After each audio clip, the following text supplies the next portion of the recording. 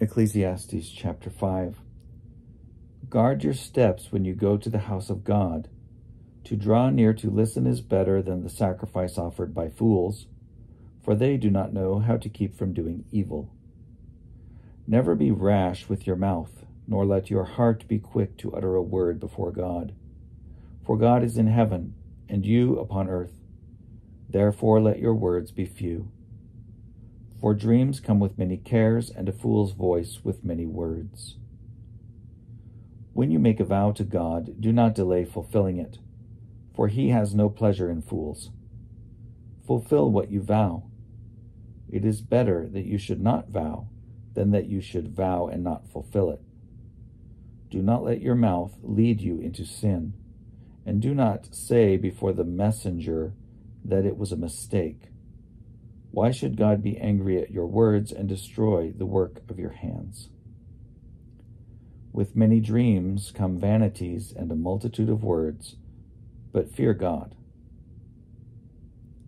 If you see a if you see in a province the oppression of the poor and the violation of justice and right, do not be amazed at the matter, for the high official is watched by a higher, and there are yet higher ones over them.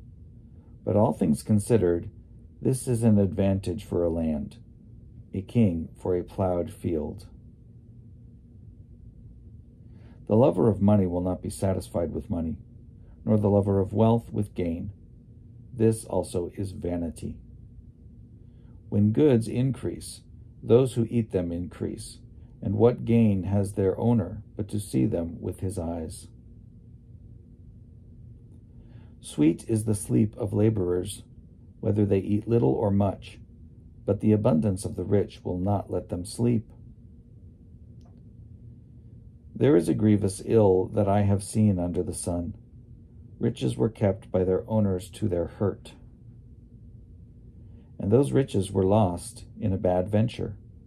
Though they are parents of children, they have nothing in their hands.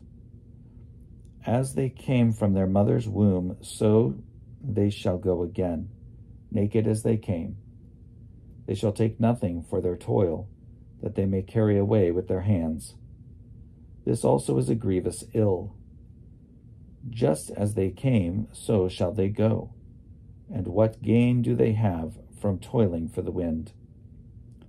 Besides, all their days they eat in darkness, in much anger and sickness and resentment.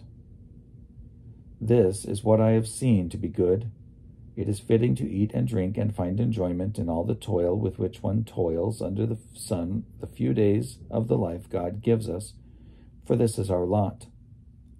Likewise, all to whom God gives wealth and possessions, and whom he enables to enjoy them and to accept their lot and find enjoyment in their toil, this is the gift of God. For they will scarcely brood over the days of their lives, because God keeps them occupied with the joy of their hearts.